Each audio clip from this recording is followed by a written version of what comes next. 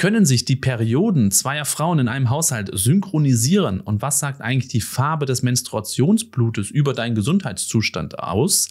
Ist eine Klümpchenbildung bei der Periode normal oder abklärungsbedürftig? Und was sagen eigentlich Schmierblutungen in den einzelnen Zyklusphasen aus? Ist da ein Krankheitsbild hinter oder ist das alles normal? Das klären wir in diesem Video. Ich wünsche viel Spaß dabei.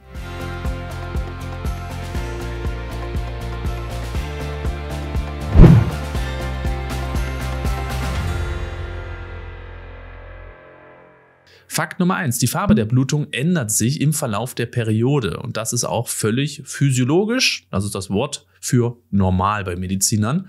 Und das stimmt auch. Im Verlauf der Periode wird sich die Farbe deines Blutes ändern. Und das liegt daran, dass Blut unter Sauerstoffzufuhr natürlich neigt zu oxidieren. Du kennst das vielleicht vom Eisen, was unter Sauerstoffzufuhr ja auch oxidiert. Und im Blut ist ja viel Eisen.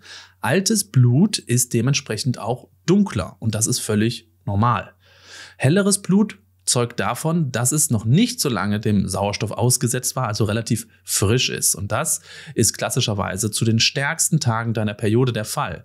Wenn es also in den ersten zwei, drei Tagen zu einem bräunlichen Schmieren oder einer dunklen Blutung kommt, dann aber in eine hellere Blutung übergeht, dann ist das völlig physiologisch. Auch bei einer Hormonentzugsblutung, zum Beispiel um den Eisprung, wenn das Östradiol ja ziemlich nach unten geht, kann es zu einer hellrosa Blutung kommen. Wenn die immer wieder zyklisch auftritt im Zusammenhang mit dem Eisprung, dann ist das auch physiologisch, also als normal anzusehen. Vorsicht ist bei allen azyklischen Blutungen geboten. Wenn zum Beispiel eine hellrosa, fleischwasserfarbene Blutung auftritt, dann sollte man definitiv einmal zu seiner Gynäkologin gehen, um nachschauen zu lassen, ob alles in Ordnung ist. Das kann manchmal auch Veränderungen am Gebärmutterhals herrühren.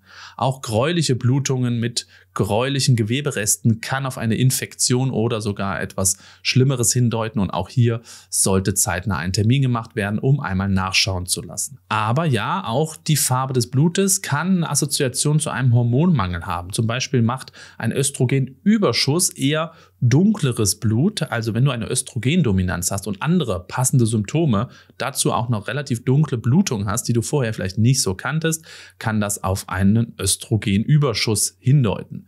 Im Gegensatz dazu macht ein Östrogenmangel sehr gerne hellere Blutungen.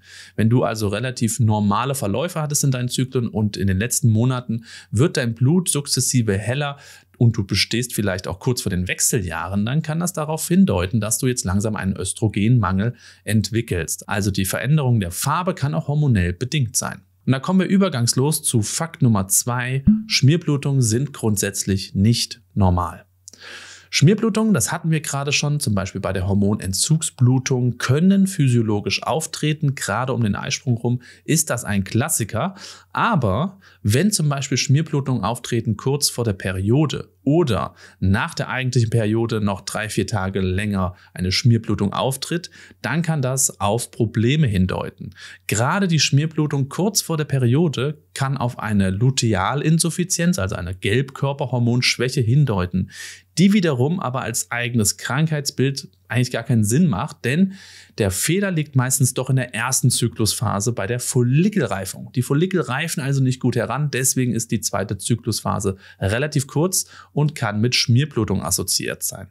Und wenn wir schon bei der Follikelreifungsstörung sind, auch dieses Schmieren nach der Periode deutet auf eine Follikelreifungsstörung hin. Und auch hier sollte abgeklärt werden, je nach Lebenssituation, je nach Kinderwunsch, kein Kinderwunsch, je nach Alter, ob hier kausal therapiert werden kann, also etwas gegen ein Krankheitsbild gemacht werden kann oder eben symptomatisch therapiert werden muss. Fakt Nummer drei, Periodenschmerzen sind grundsätzlich ganz normal und gehören dazu. Ihr seht mich vielleicht jetzt ein bisschen rot anlaufen, denn diese Aussage macht mich mitunter etwas wütend.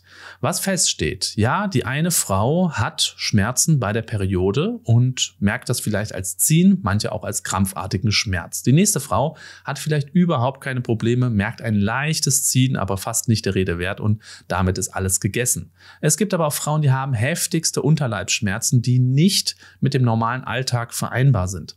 Und alle Schmerzen, jetzt kommt was Wichtiges, alle Schmerzen, die den Lebensalltag einschränken. Du kannst nicht mehr einkaufen, du kannst nicht mehr zur Arbeit, zur Schule, zur Uni gehen. Du liegst eigentlich nur gekrümmt in deinem Bett, hast die Wärmflasche von vorne nach hinten gelegt und von hinten nach vorne.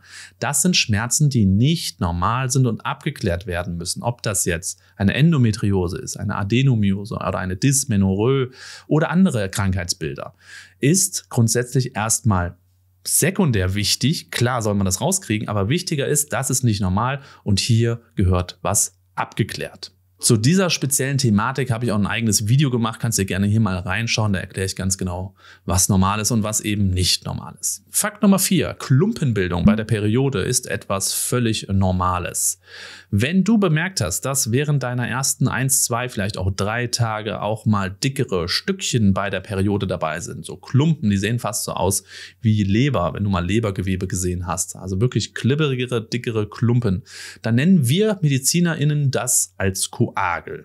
Koagel ist grundsätzlich erstmal ein Indiz dafür, dass hier eine starke Blutung stattfindet und dass das Blut schon ein Stück weit geronnen ist. Und dieses geronnene Blut, was sich aneinander bappt, kommt dann in Stückchen oder Klumpen raus. Blutkoagel können entweder darauf Hinweis geben, dass du eventuell eine unentdeckte Gerinnungsstörung hast, dass dein Blut also nicht so gut gerinnt. Es kann aber auch sein, dass deine Gebärmutter es einfach nicht schafft, das angefallene Blut schnell herauszumanövrieren, herauszudrücken. Es sammelt sich in der Gebärmutter. Das können auch gerne mal Myome verursachen, auch eine verstärkte Blutung zum Beispiel, Polypen oder Adenomyose, also die Endometriose in der Gebärmutterwand.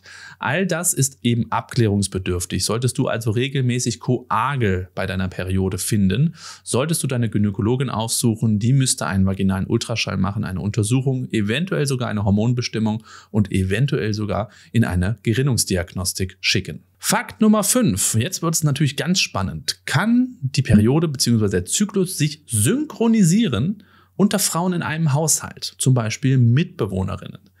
Diese Hypothese wurde in den 70er Jahren aufgestellt. In einer Studie wurde gesagt, ja, das passiert. Die Periode synchronisiert sich, also der Zyklus synchronisiert sich unter Frauen. Leider, muss man sagen, leider, leider ist das nicht der Fall, wie andere Studien mittlerweile längst widerlegt haben. Es wäre völlig abgefahren. Und ja, ich weiß, einige von euch werden jetzt sagen, Moment, bei mir und meiner Mitbewohnerin war das aber total synchron und wir hatten vorher vielleicht einen asynchronen Zyklus. Das ist dann aber Zufall.